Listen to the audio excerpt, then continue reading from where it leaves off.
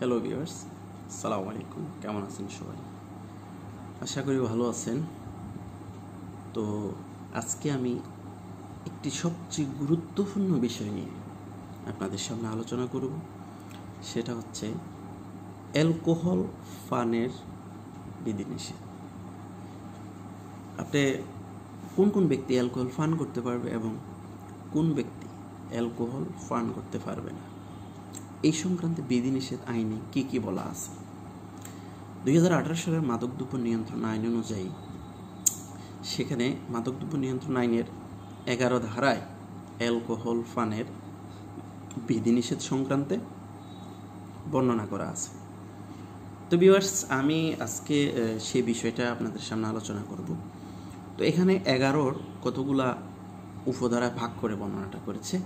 এগারোর এক, এগারোর দুই এগারোর তিনের ক এবং এগারোর তিনের খ। এই চারটা উপধারায় অ্যালকোহল পানের বিধিনিষেধ সংক্রান্তে পূর্ণাঙ্গ আলোচনা করা হয়েছে। তো আমরা এখন দেখব যে মাদকদ্রব্য নিয়ন্ত্রণ আইন দুই হাজার আঠারো সাল অনুযায়ী এগারো ধারার কোন কোন ধারায় কি কি বর্ণনা করা আছে? এগারোর এক উপধারা যেটা বর্ণনা করা আছে সেটা হচ্ছে ফার্মিট ব্যতীত কোনো ব্যক্তি অ্যালকোহল পান করতে পারবে না। এখানে প্রথম কথা বলে দিছে যে পারমিট ব্যতীত কোনো ব্যক্তি অ্যালকোহল পান করতে পারবে না। চিকিৎসার ক্ষেত্রে যদি কেউ অ্যালকোহল পান করতে হয়, সেক্ষেত্রে সিভিল সার্জন অথবা সরকারি মেডিকেল কলেজের সহযোগী অধ্যাপকের নিম্নে নহে। সহযোগী অধ্যাপকের নিম্নে নহে, এমন ব্যক্তি কর্তৃক লিখিত চিকিৎসাপত্র ব্যতীত কোনো মুসলিমকে অ্যালকোহল পানের পারমিট দেওয়া যাবে না। বুঝতে পারছেন তাহলে? তাহলে কোনো মুসলমান, মুসলিম কি করতে পারবে না? চিকিৎসা ক্ষেত্রে ব্যতীত অ্যালকোহল পান করতে পারবে না। তো মুসলমানদেরকে যদি অ্যালকোহল পানের অনুমতি দিতে হয়, সেক্ষেত্রে সিভিল সার্জন অথবা সরকারি মেডিকেল কলেজের সহযোগী অধ্যাপকের নিম্নে নয় এমন ব্যক্তি কর্তৃক লিখিতভাবে চিকিৎসাপত্র থাকতে হবে। তো, এগারোর দুইয়ে আসি আমরা। এগারোর দুইয়ে বলছে, মুসি মেথর চা শ্রমিক ও ক্ষুদ্র নৃগোষ্ঠী যারা আছে, এরা দুইটা জিনিস পান করতে পারবে। কি কি? একটা হচ্ছে তারি আর একটা হচ্ছে ফুসুই।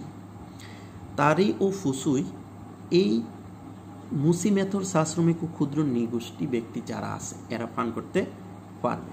এছাড়াও পার্বত্য রাঙ্গামাটি, খাগড়াছড়ি, বান্দরবন এবং অন্যান্য অঞ্চলে ক্ষুদ্র নৃগোষ্ঠী যারা আছে, এরা যে নিজেরা যে প্রস্তুত করে কিছু মত, নিজেদের ঐতিহ্যগতভাবে কিছু মত প্রস্তুত করে তারা নিজেরা খাওয়ার জন্য তারা এগুলা খেতে পারবে। তাহলে কি বলছে? পার্বত্য অঞ্চল, খাগড়াছড়ি, রাঙ্গামাটি, বান্দরবন এবং অন্যান্য অঞ্চলে ক্ষুদ্র নৃগোষ্ঠীদের ঐতিহ্যগতভাবে প্রস্তুতকৃত মদ পান করতে পারবে।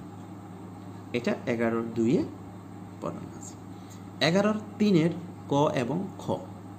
এখানে দুইটা আছে, এগারোর তিনের কতে বলছে, লাইসেন্সপ্রাপ্ত বারে বসে বিদেশি নাগরিক ও বাংলাদেশি পারমিটপ্রাপ্ত ব্যক্তিগণ অ্যালকোহল পান করতে পারবে।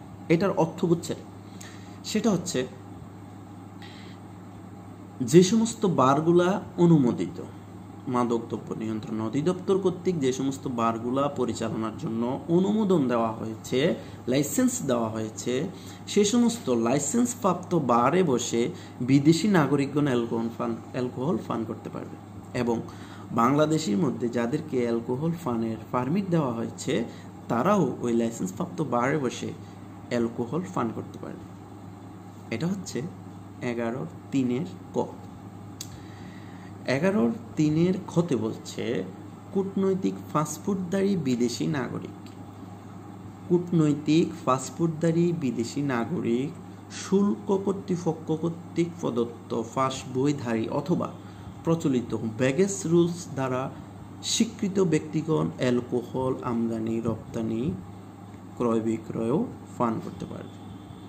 এখানে দেখেন, কূটনৈতিক ফাস্টফুডদারী ব্যক্তি, এরপরে বলছে, শুল্ক কর্তৃপক্ষ কর্তৃক প্রদত্ত ফাঁসধারী ব্যক্তি অথবা প্রচলিত ব্যাগেজ রুলস দ্বারা, প্রচলিত ব্যাগেজ রুলস দ্বারা স্বীকৃত ব্যক্তিগণ অ্যালকোহল আমদানি, রপ্তানি, ক্রয় বিক্রয় ফান করতে পারবে। এটা দুই হাজার আঠারো সালের মাদকদ্রব্য নিয়ন্ত্রণ আইনের এগারোর তিনের ক্ষতে বলা আছে।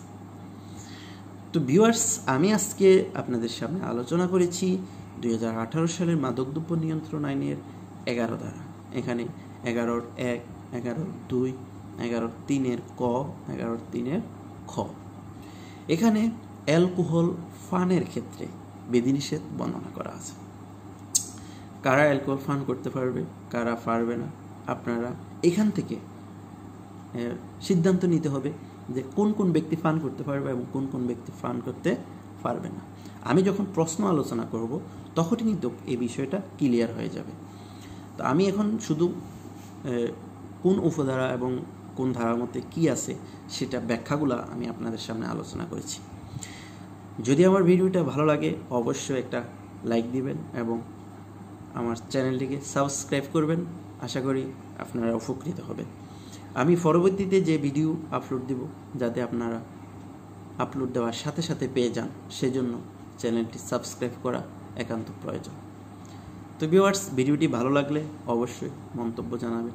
এর পরবর্তীতে আমি কোন আইন নিয়ে ভিডিও বানাবো, সেটা অবশ্যই জানাবেন। সেক্ষেত্রে আমিও উপকৃত হব আপনারাও উপকৃত হবেন। ধন্যবাদ সবাইকে ভালো থাকেন সুস্থ থাকেন আল্লাহ হাফেজ।